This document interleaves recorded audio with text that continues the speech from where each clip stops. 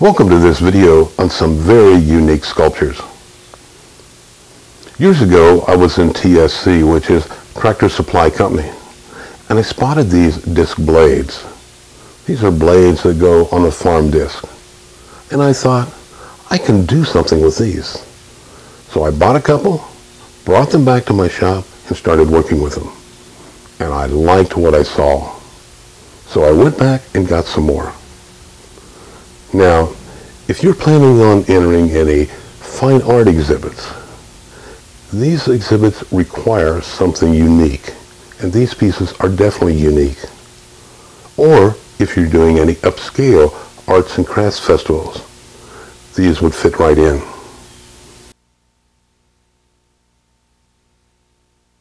It's not that difficult, although it is a lot of work. And through this video, we'll just be scratching the surface of what you can do with these farm discs. Now the main point in using the discs is that we can put them together like so, and it gives us this shape here, this bellowed out shape. Very interesting shape to work with. This is a 16 inch agridisc. In other words, it's 16 inches in diameter. Has this square cutout right here, which we don't want. So I've cut a piece of 1 8 inch material that I'll be welding in there. It's got a heat sink right here this heavy block of steel on top of these two 3 8 inch square pieces of steel. Keep it up off the table. I've turned the agri disc upside down and I'm going to fuse weld this 8 inch piece to the disc.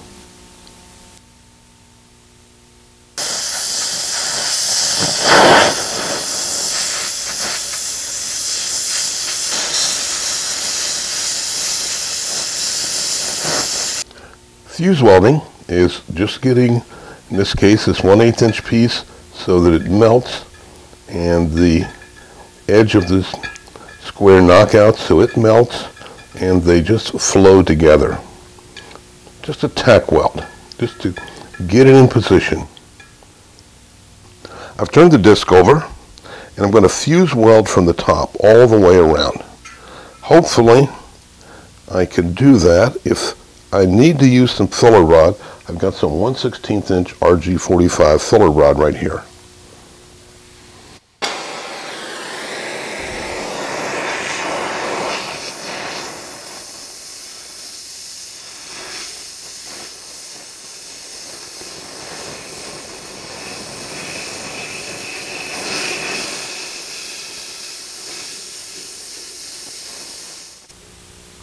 Here you can see that I've fuse welded the 1 8 inch piece into the square knockout.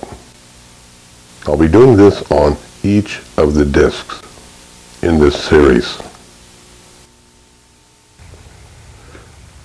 What I'm doing right here, I've got the disc together, got my hand down here, I'm holding them tight together, just getting both edges of the disc so that they'll melt and flow into each other.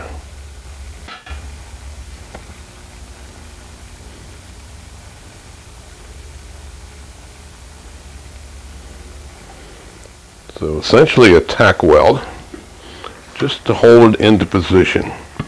And I want to do this every, oh, probably every five inches. Looks like some up there I got every three inches. just so you go all the way around and get these fused together.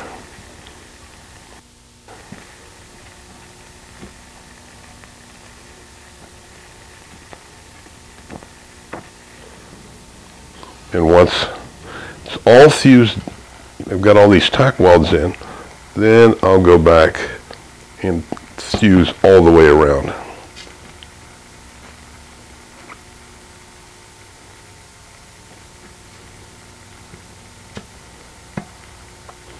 Now if you do happen to burn through, and that's possible because it's pretty thin on the edges, you can go back and fill in with a 1 16th inch RG45 rod.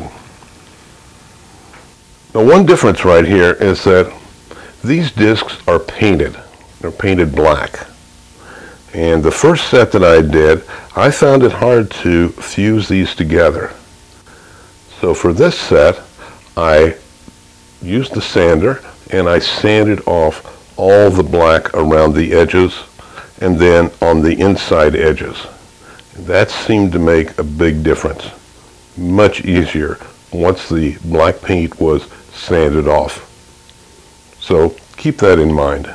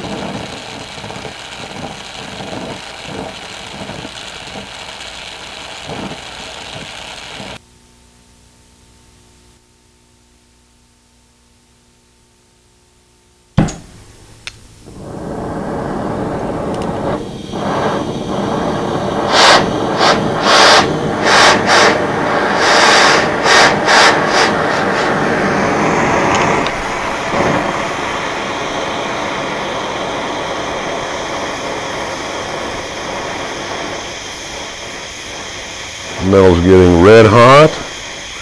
It's going on into oh, yellow. And I'm pushing down the lever. You can see the metal just start to bubble up. Now I will cut through in some places. Now if I get too big a hole, I can fill it in with some gas welding rod.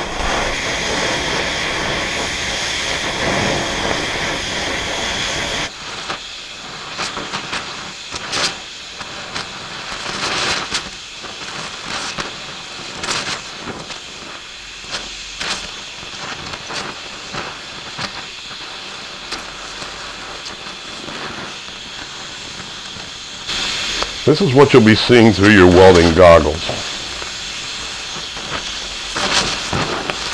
See when I give it some air, see how it's bubbling up. Now I'm going to let it take the torch away and it just flows back into itself. Almost looks like molten lava. Okay, I'm going to take the torch away and it just flows back into itself. Not using the cutting torch to cut, just using the flame. Every time I texture, when it's cool, let the piece cool, then I'll go around with the torch and get this slag so that it just kind of flicks off. Of course, I'll wire brush this afterwards, which will take even more off.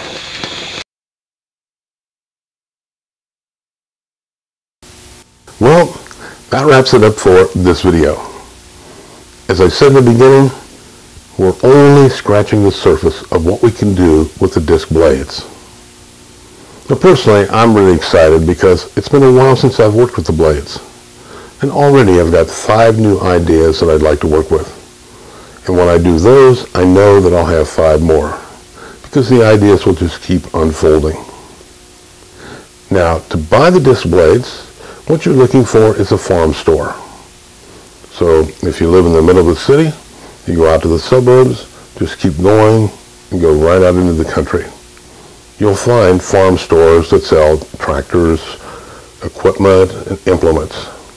You know, you just need to get out away from the city and the suburbs. Now here in Southern Indiana, for example, in the Midwest, we have Rural King and Tractor Supply Company. And both those companies sell online. So you can find places online where you can just order the discs. And incidentally, they come in different sizes. Now, 16 inch is one of the smaller sizes, and I've seen them up to 24 inch. And that's a little big for what we're doing here, but you might find a purpose for the 24 inch. Well, as I say, I'm excited, so stay tuned. I'm sure there's more farm disc videos in my future.